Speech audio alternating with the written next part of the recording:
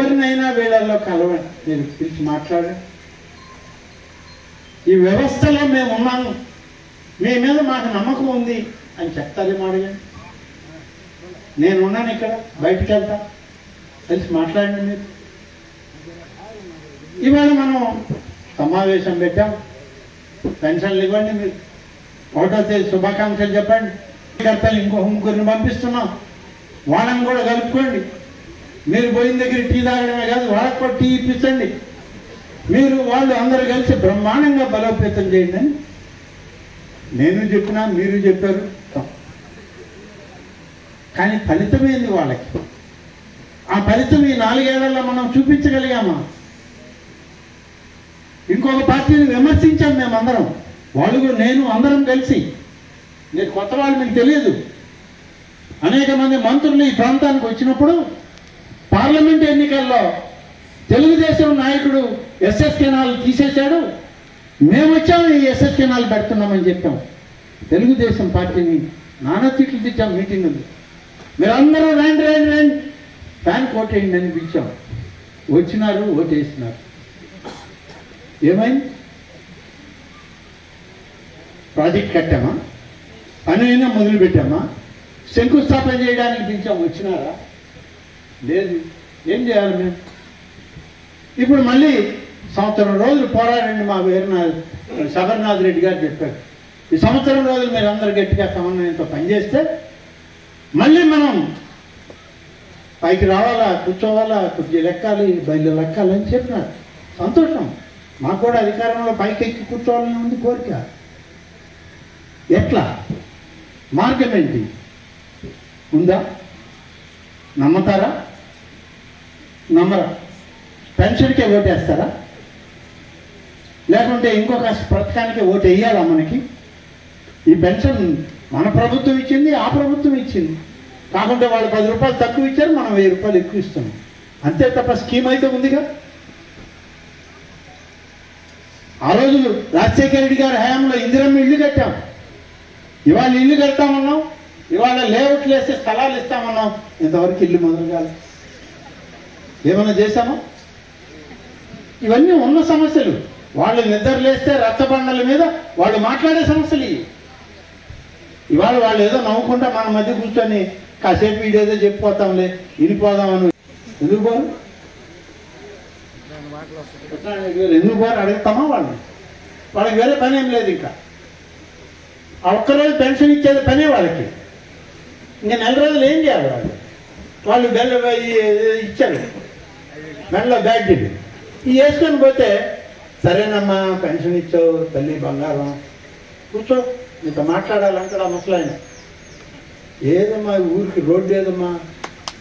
ఎక్కడుందమ్మా మన ఊరికి రోడ్డు? చచ్చిపోతున్నాం తల్లి ఆటోలో రాలేక గుంటల్లో. నడుములు పోతున్నాయమ్మా. నువ్వు ఇచ్చే రెండు వేల రూపాయలు ఆ డాక్టర్ల మందులకు కూడా సాలడం లేదమ్మా. ఒక ఊరికి రోడ్డు వేయలేకపోతే మట్టి ఏమో పోయించండి అయ్యా గుంటలకి అంటున్నారు అది కూడా చేయలేకపోతే తాగడానికి నీళ్ళు ఏంటయ్యా అంటే జలజీవన మిషన్ అని కేంద్ర ప్రభుత్వం వాళ్ళు ఇస్తున్నారు. ఆ డబ్బులు వస్తే మీకు పైప్ లైన్లు వేస్తామని మన అధికారులు చెప్తున్నారు. కేంద్ర ప్రభుత్వం డబ్బులు ఇస్తే పైప్ లైన్లు ఇస్తే మీకు నీళ్ళు ఇస్తామని మనం పోయి చెప్తే మర్యాద ఉంటుందా? కేంద్ర ప్రభుత్వం ఇచ్చేదానికి నువ్వెందుకు ఈ రాష్ట్రంలో? నువ్వు ఎమ్మెల్యేవి నువ్వు ఒకటి మాకు దగ్గర పడ్డావు అని చెప్పి వాళ్ళు అడిగితే. అవునా కాదా?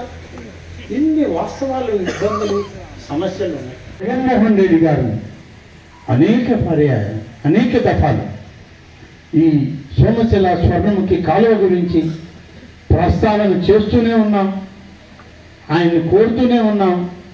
ఇటీవల కాలంలో ఇది శాసనసభలో కూడా వచ్చింది. ఎమ్మెల్యేల సమన్వయం చేసే సమావేశంలో కూడా ముఖ్యమంత్రి గారి దృష్టికి తీసుకెళ్ళాము. ముఖ్యమంత్రి గారి కార్యాలయంతో మాట్లాడాము. చీఫ్ ఇంజనీర్లను పిలిచి మీటింగ్ పెట్టిస్తే అక్కడ కూడా దాంట్లో నేను ప్రస్తావన చేస్తే పూర్తి స్థాయి ఎస్టిమేట్లు కావాలని అడిగితే దీన్నంతా కూడా ఎస్టిమేట్లు చేసి తేవడం జరిగింది. రివైజ్డ్ ఎస్టిమేట్లు ప్రతిపాదనలు కూడా ఇచ్చారు. కానీ ఎక్కడి వేసిన గొంగడి అక్కడగానే ఉంది. ఇది అవును? ఇస్తామని కానీ ఇవ్వలేమని కానీ ఇంతవరకు మాకు ఏ సమాధానం లేదు. మేము ఇటువంటి సమావేశాల్లో మీలాంటి వాళ్ళకి చెప్పుకోక తప్పదు ఇటువంటి. ఎందుకంటే మేము సమన్వయకర్తలమే కదా. మేము ఇన్ఛార్జీలుగా వచ్చిన వాళ్ళమే కదా.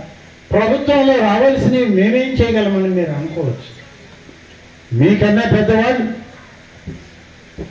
మీకన్నా గొప్పగా ఉండేటువంటి ఈ రాష్ట్ర మంత్రులు మా ప్రాంతంలో పర్యటించారు. ఇవాళ ఉన్నటువంటి క్యాబినెట్లో ఉన్నటువంటి శ్రీ పెద్దిరెడ్డి రామచంద్రారెడ్డి గారు టీటీడీ చైర్మన్గా ఉన్న వైవి సుబ్బారెడ్డి గారు కమలాపురం శాసనసభ్యులు రవీంద్రనాథ్ రెడ్డి గారు. అలాగే ఇవాళ మీ జిల్లా నుంచి ఈ మూడు జిల్లాల సమన్వయకర్తగా ఉన్నటువంటి మాజీ మంత్రి మా నెల్లూరు జిల్లా పాత ఇన్ఛార్జి మంత్రి అయిన బాలినేని శ్రీనివాసరెడ్డి గారు. ఎంతమంది ఎన్నికల్లో డాక్టర్ గురుమూర్తిని గెలిపించమన్నారు? మీరందరూ సహకరించండి. తప్పనిసరిగా ఈ ప్రోగ్రాంలో మేము ఈ ప్రాజెక్ట్ని ముఖ్యమంత్రి గారి అనుమతులతో ఎన్నికలు అయిపోగానే ప్రారంభానికి ముఖ్యమంత్రి గారిని తీసుకొస్తామన్నారు. ముఖ్యమంత్రి గారు రావడం మరి ఆలస్యమవుతుందేమో మాకు తెలియదు కానీ ఈ ప్రాజెక్టుని ఆమోదించి దానికి సంబంధించినటువంటి ఆదేశాలు ఇవ్వడంలో కానీ దానికి సంబంధించినటువంటి టెండర్ల ప్రక్రియలో కానీ ఇవాళ మాకు ఏ సమాధానం?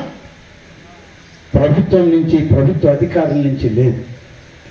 ఎన్ని డిస్టిక్ రెవెన్యూ మీటింగులు జరిగినా ఆ రెవెన్యూ మీటింగుల్లో డిఆర్సి చైర్మన్లను అడుగుతూనే ఉన్నాం. ఇప్పటి ఇరిగేషన్ మంత్రే మా జిల్లాకి నెల్లూరు జిల్లాకి ఆయన డిఆర్సి చైర్మన్. ఆయన్ని కూడా అడిగాం. తప్పకుండా ముఖ్యమంత్రితో మాట్లాడతాం. ఇవన్నీ చెప్పిన ప్రకారం చేయడానికి ప్రయత్నం చేస్తామని చెప్పి మరి ఇవాళ ఏ సమాధానం మాకు రావట్లేదు పని జరగట్లేదు. ఈ మండలంలో సగభాగం కంటి ముందు పోతున్నటువంటి కాలువలు కంటి ముందు కనబడుతున్నటువంటి రిజర్వాయర్ నీళ్ళు చూసి ఆనందపడ్డం తప్ప ఈ నీటిని మేము తాగగలమనేటువంటి ఆత్మవిశ్వాసం ఇక్కడున్న వైఎస్ఆర్ కాంగ్రెస్ పార్టీ సంక్షేమ కార్యకర్తలుగా ఉన్నటువంటి వీళ్ళకు సమన్వయ కార్యకర్తలుగా వచ్చేటువంటి వీళ్ళకి ఎవరికి ఇవాళ నమ్మకం అయితే కుదరడం లేదు.